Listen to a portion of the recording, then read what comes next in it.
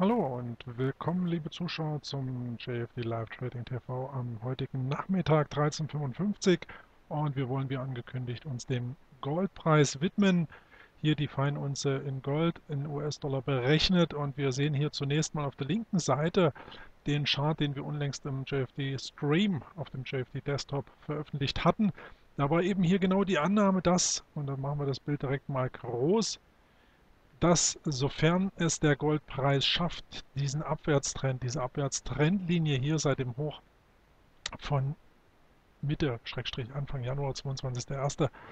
Ähm, hier diesen Abwärtstrend zu durchbrechen, dann hätte sich mit Überwindung dieses Vortageshochs hier von Ende Januar durchaus Aufwärtspotenzial erschließen können bis zum nächsten Widerstandslevel hier knapp unter 1300 Dollar. Wir sehen aber, dazu kam es gar nicht. Man muss schon darauf achten, ob eben hier ein signifikanter Ausbruch erfolgt oder nicht. Das ist definitiv immer die Maßgabe, dass hier eben ein neues Local High oder Local Low gemacht werden muss, bevor der Markt hier eben dann signifikante Folgesignale aussendet. Ähm, wir hatten eben gesehen, dass es am gestrigen Tag nicht dazu reicht, einen Ausbruch zu vollziehen. Stattdessen gab es hier am Nachmittag eine tiefschwarze Kerze, die dann hier auch unter das theoretische Stop-Level führte wäre man denn hier oben aufgesprungen, aber wie gesagt, ohne neues Hoch definitiv kein Entry. Und dann wäre man, hätte man es dennoch versucht, hier irgendwie hypothetisch einzusteigen vor dem Hintergrund, dass man eben hier so einen Ausbruch antizipiert, dann wäre man hier oder sollte man, hätte man hier besser die Reißleine ziehen sollen und richtigerweise wäre das Stop-Level eben hier auch im Bereich dieser Trendlinie zu legen gewesen, denn Sie sehen, im Nachgang ging es hier steil nach unten. Jetzt jüngst heute wieder ein leichter Erholungsmodus beim Goldpreis. Doch warum eben der Titel, dass der Goldpreis hier am Nachmittag eventuell einen Abwärtsswing machen könnte.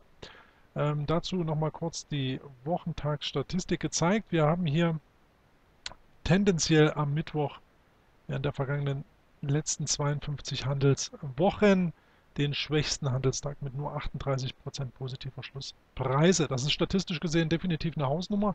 Also 38% heißt natürlich nicht, dass jeder, Donner, äh, jeder Mittwoch ein negativer Tag ist, um Gottes Willen, keinesfalls. Aber 38% während der letzten 52 Wochen ist doch schon eine Nummer, wo man sagen kann, oha, wenn hier Verkaufssignale kommen intraday, dann wäre das durchaus interessant.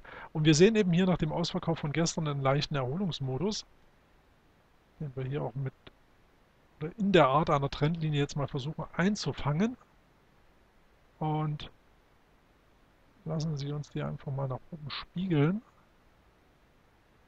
Um den Kursverlauf so ein bisschen einzugrenzen. Und da fällt auf, es hat den Anschein einer bärischen Flagge. Also hier übergeordneter Abwärtstrend, jetzt korrektiver Erholungsimpuls. Wir hängen hier so ein bisschen am Daily Pivot Point des Goldpreises, der hier bei 1267 verläuft aktuell.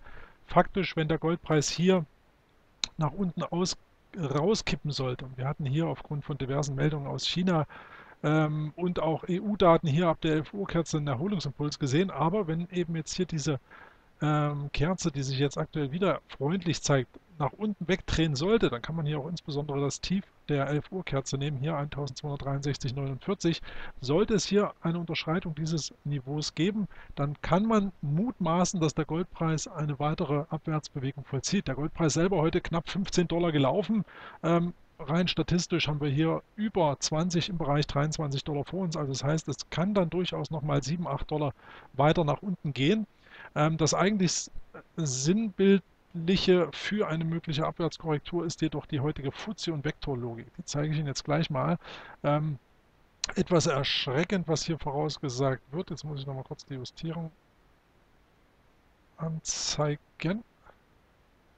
Moment. So. Gut.